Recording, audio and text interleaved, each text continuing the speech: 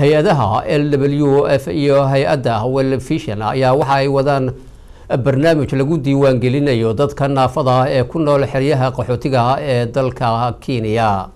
Waxaa warkan nooga soo diray magaalada dhadhaab cabdirasaaq africa hay'adda lagu magacaabo lowliyef oo ka mid ah hay'adaha samafalka ee ka howlgala xeryaha qaxootiga dhadhaab oo garab ka helaysa hay'adda caalamiga ah ee wal vision ayaa waxa ay xerada qaxootiga xagadheera iyo kaambico si toosa uga bilowday diiwaangelin guud oo lagu soo aruurinayo tirada guud ee dadka naafada ah ee ku nool xeryahaasi. Maraan booqday xarunta ay diiwaangelinta ka socotay ayaa waxa aan la kulmay dadyo fara badan oo leeman dhaadheer ugu jira sidii magacyadooda lagu diiwaangelin lahaa. Ugu horeyntii ayaa waxa aan waraysi la yeeshay madaxa xarunta. Dadka naafada ah mudane axmed isaaq waxaana uu inooga warbixiyey baahida keentay tirakoobka iyo muhiimadda uu u leeyahay hay'adda axmed. Waxaan kooxda cudaaminta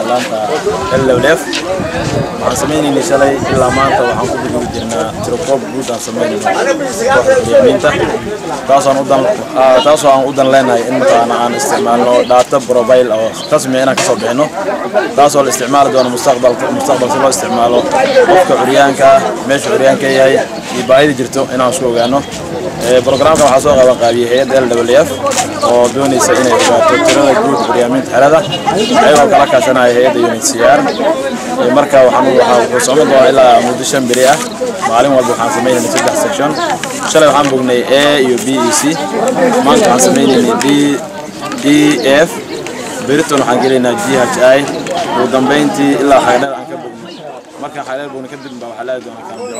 sidoo kale waxa aan la kulmay gudoomiyaha guud ee guddiga curyaamada mudane faarax oo dhankiisa ku tilmaamay diiwaangelintaani in ay tahay mid ay inta badan sugayeen dadka naafada ah ee ku sugan xeryaha qaxootiga dhadhaab anigoo ah jeemaanka curyaamiinta xagadheere faarax xayd cali waxaan maanta halkan ka sii daynayaa in l f ayna tirakoobayso curyaamiinta dhammaan ay tirakoobayso tirakoobtaas oo ah midaan u baahnayn si maarata wax loogu qabto curyaamiinta ama yoon ugu qabto ama adduunka ama haydo ay ugu qabtaan oo ayadoo aan u baahnayn inay maanta shalay baan tirakoobta bilownay shalay saddex shigshin baan tirakoobnay maantana saddex shigshin baan tirakoobaynaa saddexna waxaan tirakoobaynaa berito ilaa shan maalmood bay soconaysaa tirakoobtaas waxay u dhacaysa sidii loogu talagalay hal ruuxa lama dhaafaayo. Waxaa sidoo kale aan kaamarada somaali channel la soo dhex qaaday.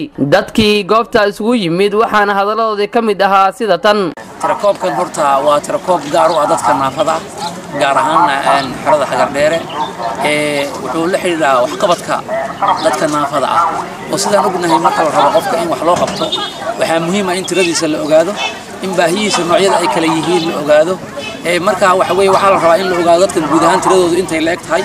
سي إيه، إن قرشياش وحقبت كا. يعني لو قدر صدق.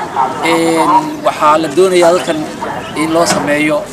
Barnaamijyo ay ka mid yihiin xagga biyogelinta ay ka mid yihiin masqulaha marka waxaa jiray qorsho hay'addan walvision ay waday oo ah inay caawiso dadka naafada ah.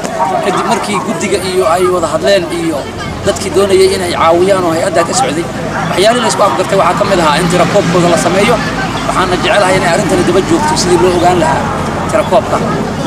Xagga hay'adahana macalin isbitaalka macnaha dhowr jeer gaarisa waa liigeeyey warqadii waan hayaa laakiin macnaha wax caawinaha macnaha degdeg hadda wax ku dheefo maana marka hadda waxaan ku lahay waa macnaha dhibkaas macnaha ay haysto aan ka hadlo aan ka baxo bismillahi raxmaan raxiim magacaygu waa ciise naxar shibane oo ka mid ah guddiga dabagalka xuquuqda naafada.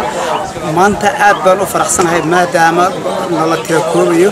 Tirakoobkaas oo aan aad uga rajaynayno kadib markii tiradeenna la ogaado aan rajaynayno inaan wax badan aan maarata xuquuq badan ay nooga soo bixi doonto hay'adaha maadaama la ogaaday tiradeennu inta ay la eg tahay. Cabdirasaaq sheekh maxamed cabdirasaaq africa telefishinka caalamiga somali channel xeryaha qaxootiga